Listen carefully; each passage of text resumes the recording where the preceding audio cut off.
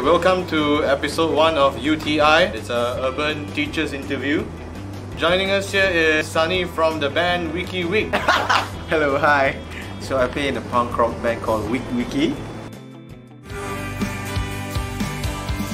ah, yeah, yeah. And I'm the lead guitarist of the band. What do you teach here, man? So here in this school, I teach uh, guitar, saxophone, bass, and also drums.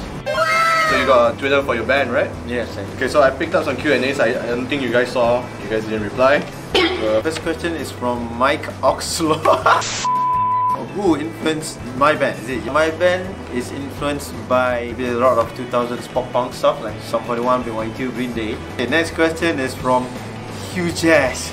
Best looking band member. okay, they would be cringe. I'll say myself. Yourself?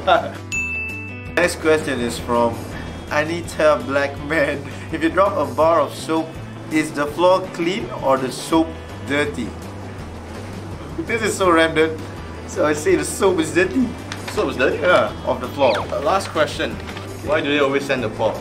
Why do presents fight the war? Before we conclude, right, can you give, give me your best? Oh! that concludes the UTI interview. I'll see you next time.